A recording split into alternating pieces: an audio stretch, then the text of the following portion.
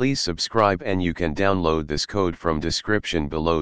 In Python, you can read and manipulate specific parts of a single line of text or a string using various techniques.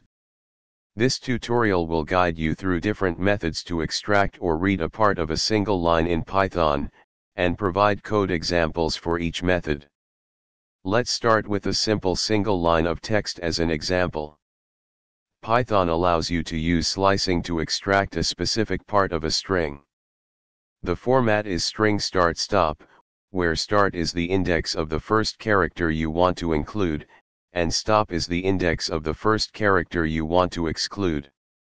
Output The split method is used to split a string into a list of substrings based on a delimiter.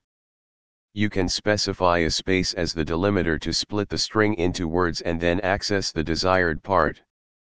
Output You can also use a custom delimiter to split the string into parts if it's not space separated.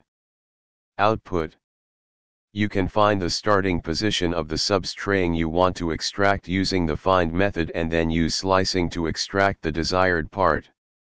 Output Regular expressions offer a powerful way to match and extract specific patterns within a string.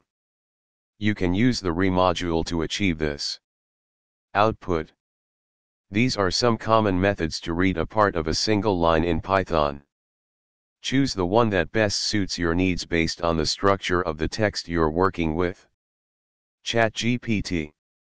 Certainly.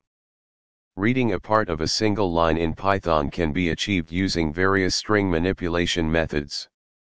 Here is a tutorial that covers different ways to accomplish this task, along with code examples. One of the simplest ways to extract a part of a single line in Python is by using string slicing. Python allows you to access a specific range of characters within a string by using the slicing notation. In this example, the text sample is extracted from the original string starting from the character at index 5 and ending at index 14, exclusive. The split method in Python is used to split a string into a list based on a delimiter. You can then access specific parts of the resulting list using indexing. This code splits the string into individual words using wit space as the default delimiter and retrieves the fourth word, sample, using indexing. Regular expressions provide a powerful way to search for and manipulate strings in Python. You can use the re module to extract specific patterns or segments from a string.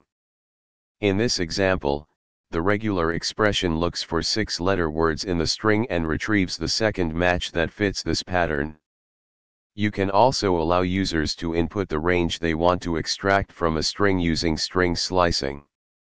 This code prompts the user to enter a sentence and the start and end indices for the substring to be extracted. These methods offer different approaches to extract specific parts of a single line or string in Python, providing flexibility based on the requirements of your program. ChatGPT